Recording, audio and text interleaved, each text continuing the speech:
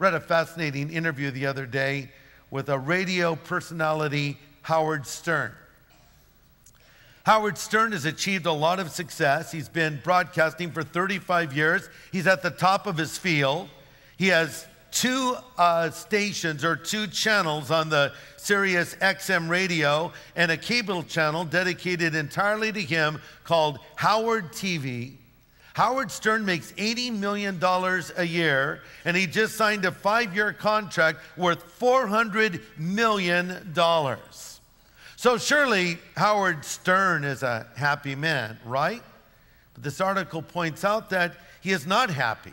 He's been driven to therapy because of a divorce and, and the attempted suicide of one of his radio sidekicks. And so the interviewer asked him this question.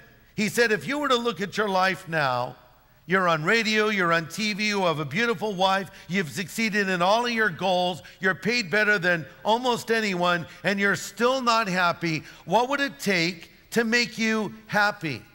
Howard Stern responds, I don't know. That's so complicated. There's a lot of anger inside of me. Once in a while, I can douse it with some water, but it never goes away. I don't know how to get rid of it. I'm tired of walking around angry. It's a burden, but I'm trying to find balance. So then Howard Stern was asked, Well, what is the brass ring for you now? Stern replies, Years ago, I would have said to do another movie or this or that thing, but now I'm not sure how to answer it. The brass ring is to actually find some balance. The whole idea of balance is to live with anger I have or somehow understand it. I don't know how to get rid of it. I think that would be beautiful, but I don't know what it would take.